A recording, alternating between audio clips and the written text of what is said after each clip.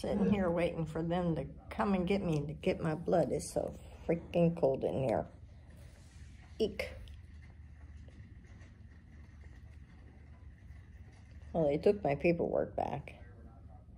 So I got to see Dennis and Pops. That's Gary's dad.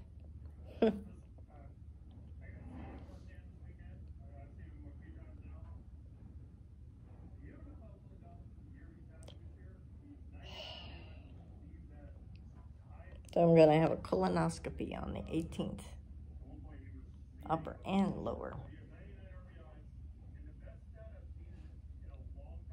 Get to drink that wonderful stuff.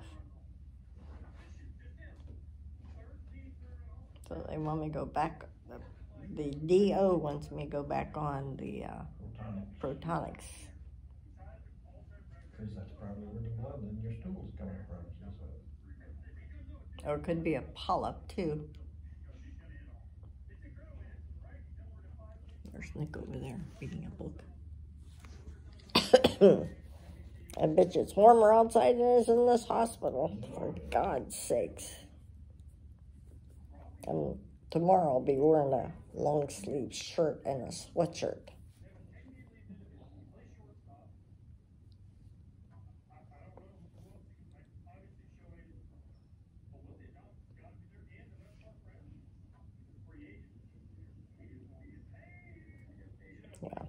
Just wanted to say hi.